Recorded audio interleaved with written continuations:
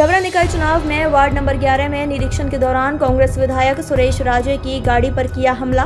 कांग्रेस विधायक सुरेश राजे ने कहा कि पत्थर एवं बोतल मारकर उनके ऊपर हमला किया, जिससे विधायक की गाड़ी का शीशा टूटा और वह और उनके कार्यकर्ता बाल बाल बचे। नगरीय निकाय चुनाव को लेकर मतदान के दौरान डबरा के वार्ड नंबर 11 निषाद राज स्कूली बाली पोलिंग में फर्जी मतदान को लेकर विधायक सुरेश राजे को कांग्रेस कार्यकर्ता केदार रावत द्वारा सूचना दी गई। कि निषाद राज स्कूल पाली पोलिंग पर फर्जी मतदान कराया जा रहा है। इसको लेकर विधायक निरीक्षण के लिए मौके पर पहुँचे, जिसमें विधायक ने सत्ता पक्ष भाजपा नेताओं द्वारा पर उनके ऊपर हमला कराए जाने के आरोप लगाए हैं। उनका कहना है कि उनके कांग्रेस कार्यकर्ता पर हमला किया गया। जिसमें मैं अपने साथ कार्यकर्ता केदार रावत को बचा कर ला रहा था।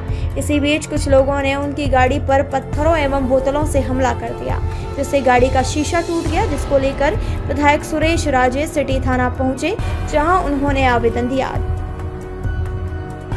पोलिंग एजेंट रोकने का प्रयास कर रहे हैं तो उनको डरा धमकाया जा रहा है। इसी तारतम्य में वार्ड क्रमांक ग्यारह में हमारे निषाद राज स्कूल के पास चार पोल हैं। वहाँ जो जानकारी हमको मिली जो है वहाँ ज़बरदस्ती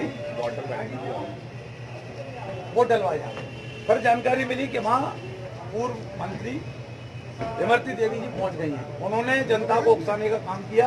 उन्होंने कहा, कोई वोटर आईडी नहीं, कोई कुछ नहीं। ऐसा मुझे लोगों ने बताया कि वहाँ पर जो है, ये इस तरह से वोट डलवाए जा रहे तो मैं केदार रावत, हमारा जो कार्यकर्ता है वो पोलिंग के बाहर था।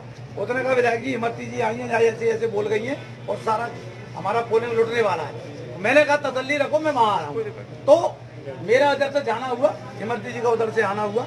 उन्होंने थोड़ी देर पे अपनी गाड़ी रोकी और गाड़ी रोक के मैं गाड़ी से उतर नहीं पाया। जब तक तो उन्होंने केदार को घेर लिया वो मारो मारो की चार तरफ़ से आवाज़ आने लगी। बड़ी मुश्किल से हमने केदार को बचा के अपनी गाड़ी में निकाल के लाए और गाड़ी में जैसे मैंने बिठाला उन लोगों ने मेरी गाड़ी पे पत्थर से हमला किया बोतलों से हमला किया और मैं कह रहा हूँ पीएसओ मेरा नहीं होता।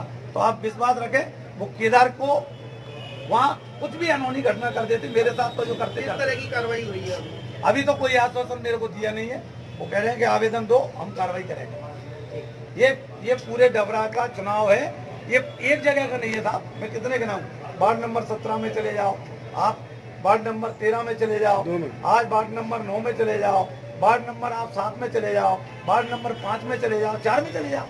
अब कितने में वार्ड देना ये स्थिति है। डबरा से ब्यूरो चीफ नीलेश कुशवाहा की रिपोर्ट।